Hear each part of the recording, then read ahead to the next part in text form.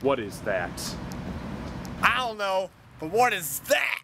It's a rock. A rock with a spoon. But what does it mean? Whatever it is, it can't be good. Do you know what I like best about lakes? What? The water. Man, it's hot. If I didn't have diabetes, I'd hop right into that lake. Take a bit of a swim. But I can't, I die. What? I don't trust these trees.